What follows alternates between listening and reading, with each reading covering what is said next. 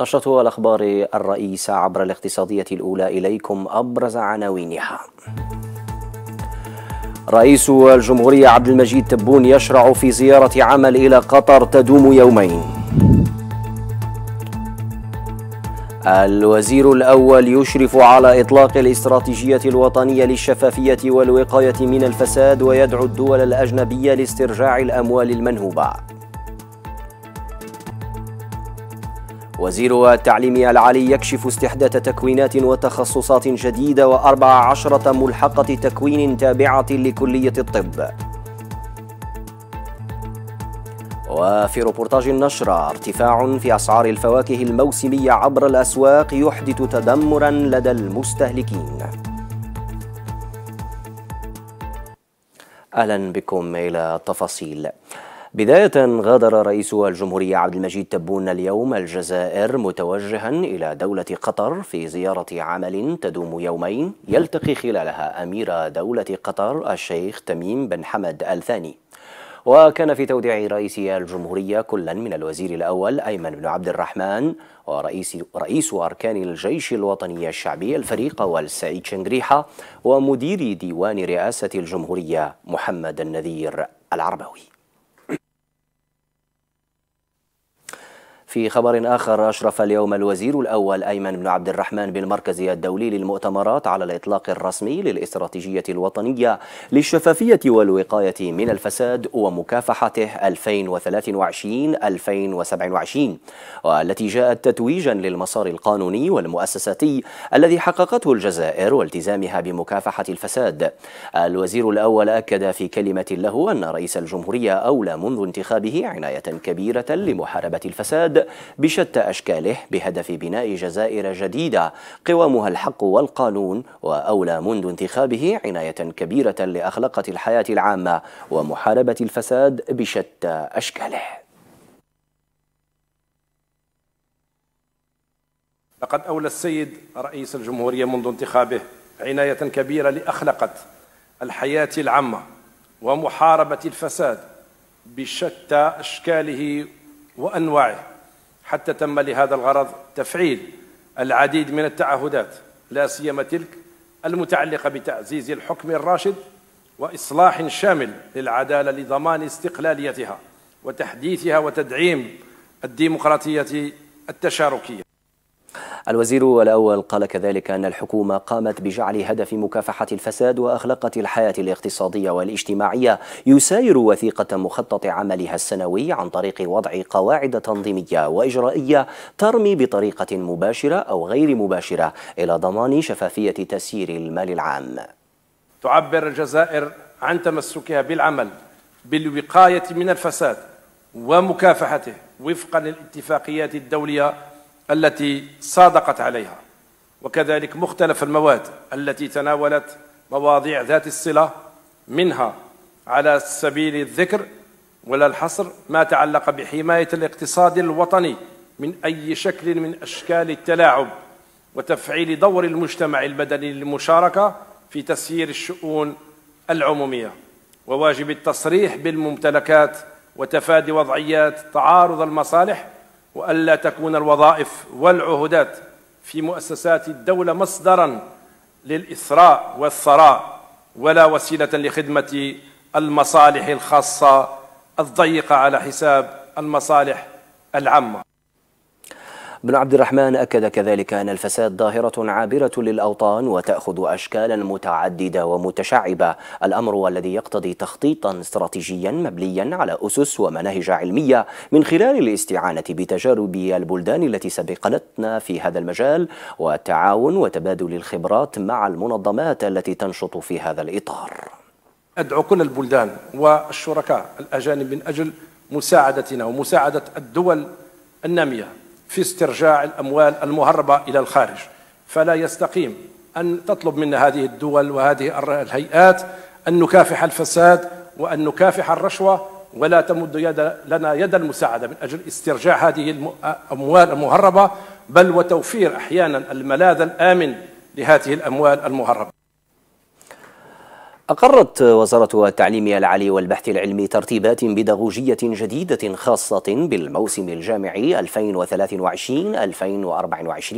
تصب في إطار تعزيز ميدان العلوم والتكنولوجيا من خلال فتح جملة من العروض أمام حاملي البكالوريا الجدد. التفاصيل مع فاطمة زايري تعزيز التكوين في ميدان العلوم والتكنولوجيا في الجامعات الجزائرية ابتداء من الموسم القادم. سيكون عبر تقديم عروض تأهيل جديدة من بينها 89 عرضا تكوينيا لشهادة المهندس عبر 52 مؤسسة جامعية. لترتفع بذلك عروض التكوين في هذا المجال إلى 128 حيث تم لأول مرة تأهيل عروض تكوين عن بعد عبر 12 جامعة نموذجية مقسمة مقدمة على ستة شهادات ليسانس وستة شهادات ماستر.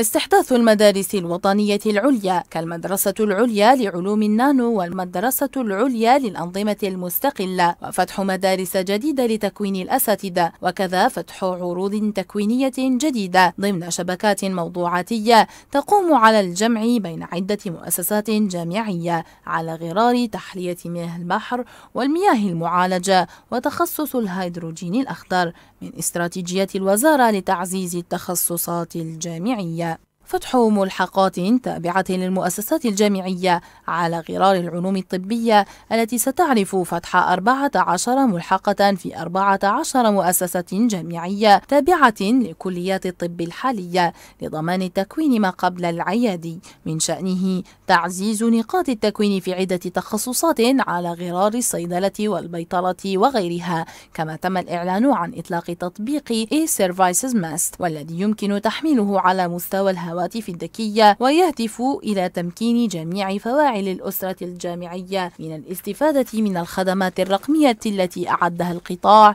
والتي يقدر عددها ب 54 خدمة و 46 منصة رقمية. في التعاون قال رئيس منتدى الأعمال الجزائري الأمريكي إسماعيل شيخون في حوار للإذاعة الدولية قال إن المبادلات التجارية بين الجزائر وواشنطن هي في حدود خمسة مليارات دولار ومن المتوقع أن ترتفع هذه المبادلات خاصة في مجال المحروقات من خلال جذب الاستثمارات الأمريكية في قطاع الطاقة. ويستعد المنتدى من أجل هذا الغرض لعقد ندوة الأعمال الجزائرية الأمريكية في العاصمة واشنطن. شهر أكتوبر المقبل.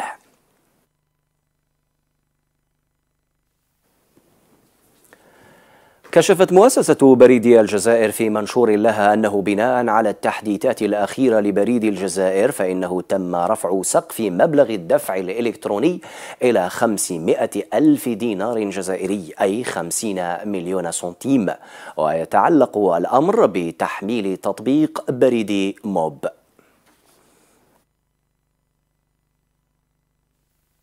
في روبورتاج النشرة وبالرغم من أننا في موسم الصيف أين يكثر تنوع المحاصيل الموسمية؟ إلا أن أسعار الفواكه لم تنخفض بل تشهد ارتفاعا مستمرا وينطبق ذلك حتى على الفواكه السريعة التلف ونحن نشهد موجة الحر الشديدة. إذ تباع بأسعار غير معقولة ما أحدث تذمرا واسعا في أوساط المستهلكين تقول أميرة أمكيتش.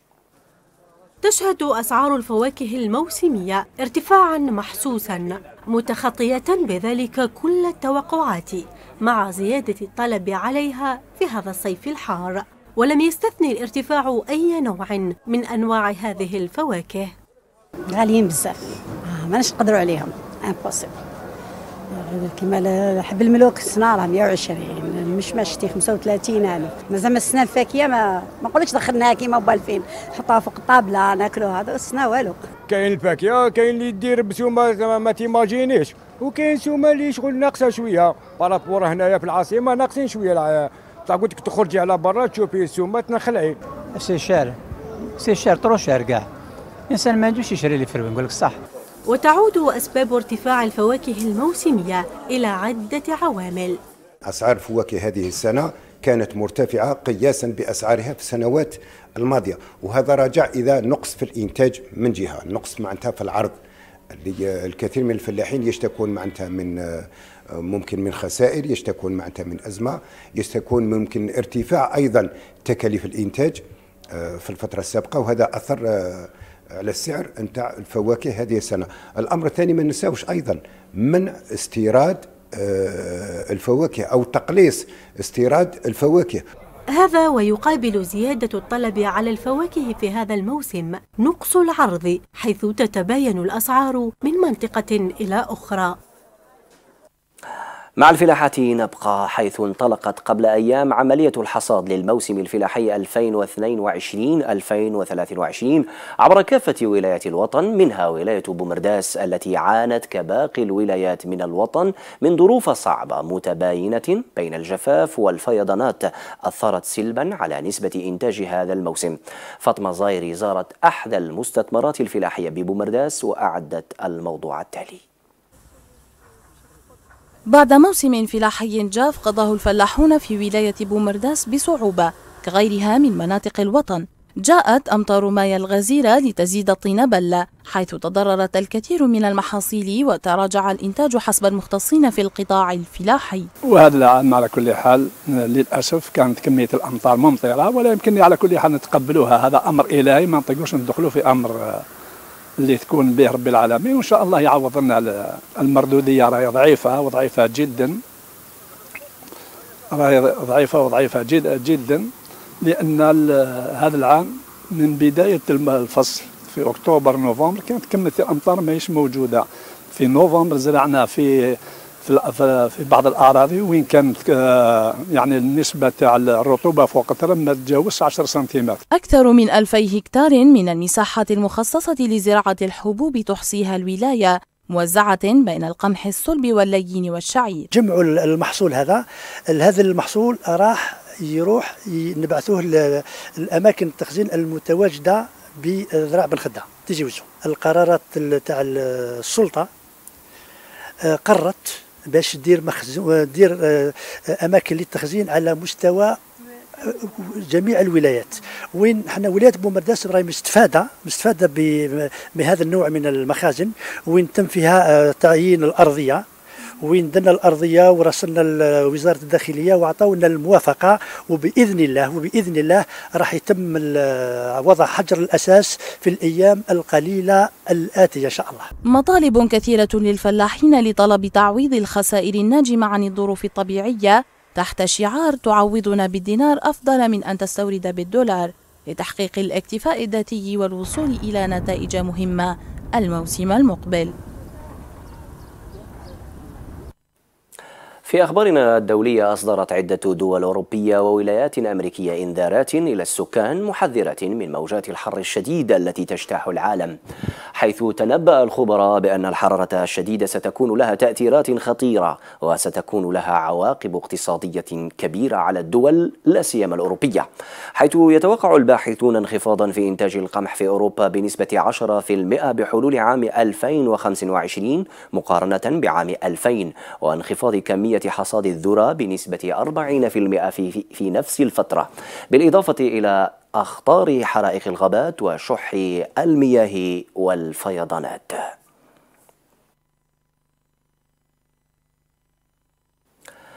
أظهر استطلاع أجراه مكتب الإحصاء الوطني في بريطانيا أن 5% من البالغين أكدوا أن الطعام اختفى من على موائدهم خلال الأسبوعين الماضيين وأنه لم يعد بمقدورهم تحمل نفقات الطعام وارتفعت النسبة إلى 28% للأسر التي يعولها أحد الوالدين ولديها طفل واحد على الأقل.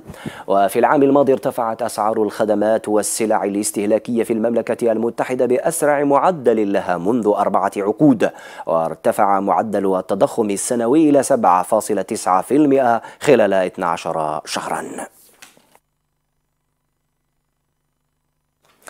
في أحدث التقارير الصادرة عن المؤسسة المالية جولمان ساكس وهي من أشهر المؤسسات المصرفية في العالم أكدت أن الهند ستصبح ثاني أكبر قوة اقتصادية في العالم عام 2075 بعد الصين حيث تحتل اليوم المرتبة الخامسة عالميا وهذا بعد التطور الكبير الذي يشهده اقتصاد هذا البلد. التقرير لهدى جمعي. الهند التي تتجمع بها كل معطيات أفضل النسب بين سكان فيما يتعلق بسن العمل وعدد الأطفال وكبار السن تسير نحو تعزيز المشاركة داخل القوة العاملة وتوفير التدريب والمهارات لطبقتها المنتجة ما سيساعدها على الاستمرار في تنمية الخدمات ومواصلة نمو البنية التحتية. بحسب جولدمان ساكس فإن الهند التي تحتل حاليا المرتبة الخامسة في الاقتصاد العالمي قد حققت تقدما كبيرا في الابتكار والتكنولوجيا ناهيك عن مساهمة استثمار رؤوس الأموال في النمو مستقبلا. وبلغة الأرقام وبحسب ذات الوكالة فإن الهند ستعرف أدنى نسبة للسكان خارج سن العمل بين الاقتصادات الكبيرة خلال العشرين عاما القادمة. إضافة إلى القفزة النوعية التي حققتها البلد في مجال رقمنة الاقتصاد وقوة تدفق الإنترنت ووضعها لرقم تعريف فريد هو أكبر نظام بيومتري في العالم. فجولدمان ساكس تقول إن الاقتصاد الهندي يحركه الطلب المحلي والتصدير وهو ما يشكل حوالي 55 إلى 60% من الاقتصاد الكلي. انتقال الهند إلى الطاقة الخضراء سيشكل فرصة استثمارية كبيرة لها فهي عازمة على الوصول إلى انبعاثات صفرية بحلول عام 2070 وبالمختصر فإن البلد الذي أصبح ينافس الدول الكبرى في مجال الفضاء يخطط لأن يكون ثاني أكبر قوة اقتصادية في العالم مستقبلاً. آخر مواضيع النشرة سيكون رياضيا. بالتحديد رياضة الجولف التي يفضل عشاقها السفر إلى دبي بالإمارات العربية المتحدة التي تضم أفضل الملاعب في العالم بالإضافة إلى المرافق العديدة التي تتوفر عليها النوادي الإماراتية. فاطمة رايس والتفاصيل. تعد الإمارات الوجهة المفضلة للاعبي رياضة الجولف فهي تقدم مزيجا من الفخامة والملاعب ذات المستوى العالمي. حيث يتدفق عشاق الجولف من جميع أنحاء العالم إلى هذه المدينة النابضة بالحياة لخوض تجربة جمال لا مثيل له وتصميم لا تشوبه شائبة لملاعب الجولف ملاعب الجولف بدبي حققت في عام 2015 إيرادات بقيمة مليار دولار. وبلغ نصيب لعبة الجولف منها نحو 170 مليون دولار أي ما يزيد عن 25% من إجمالي الإيرادات التي حققها القطاع. وفي عام 2017 وحده زار الدولة أكثر من 60 ألف لاعب من مختلف دول العالم ووصل المبلغ الذي أتى من الخارج إلى 131 مليون دولار. ومن المتوقع أن يتضاعف هذا المبلغ مع زيادة شعبية لعبة الجولف التي تعتبر أحد المساهمين الرئيسيين في الاقتصاد الرياضي بدولة الإمارات. كما أسهمت هذه الملاعب في استضافة أبرز البطولات العالمية والفعاليات الكبرى التي تنظمها مجموعة الجولة الأوروبية وبطولة موانئ دبي العالمية للجولف بمشاركة أفضل اللاعبين في العالم ما جعل قطاع الرياضة في الدولة يشهد تدفقا هائلا للمال. سبب ريادة الإمارات في هذه اللعبة كثيرة منها سهولة الوصول إليها وتنوع الفعاليات الترفيهية والسياحية. فقد صنفت في عام 2023 كوجهة للجولف للعام. يأتي إليها العديد من عشاق الجولف من جميع أنحاء العالم لتلقي خدمات لا تتوفر في غير الإمارات ولا ترتقي برأيهم إلى المستوى. بذا نطوي أوراق النشرة قبل أن نفترق تذكير بأهم عناوينها. رئيس الجمهورية عبد المجيد تبون يشرع في زيارة عمل إلى قطر تدوم يومين. الوزير الأول يشرف على إطلاق الاستراتيجية الوطنية للشفافية والوقاية من الفساد ويدعو الدول الأجنبية لاسترجاع الأموال المنهوبة. وزير التعليم العالي يكشف استحداث تكوينات وتخصصات جديدة وأربع عشرة ملحقة تكوين تابعة لكلية الطب. وفي روبورتاج النشرة تابعتم ارتفاع في أسعار الفواكه الموسمية عبر الأسواق يحدث تدمرا لدى المستهلكين. أطيب المنى وفي أمان الله.